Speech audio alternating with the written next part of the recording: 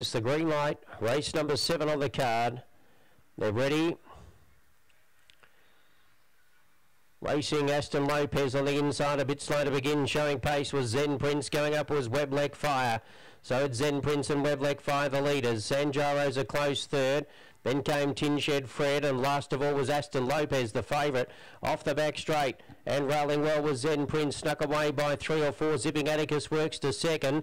Then on the outside, Weblek Fire, but it's Zen Prince, two lengths in front of Zipping Atticus running on, but it's Zen Prince. Zipping Atticus second, third was Sanjaro.